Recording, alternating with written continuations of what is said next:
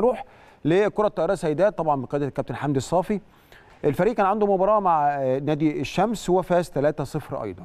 والماتش كانت اتلعب يوم الاثنين اللي فات على صالة نادي الشمس فطبعا كانت مباراة مهمة. كده عندنا تسع نقط من ثلاث مباريات يعني العلامة الكاملة. وطبعا في ماتش مؤجل مع سبورتنج وكان نتيجة إصابة أكتر من لاعيبه في سبورتنج بفيروس كورونا. ربنا يشفيهم هم الأحسن كتير وأكيد المباراة تتلعب.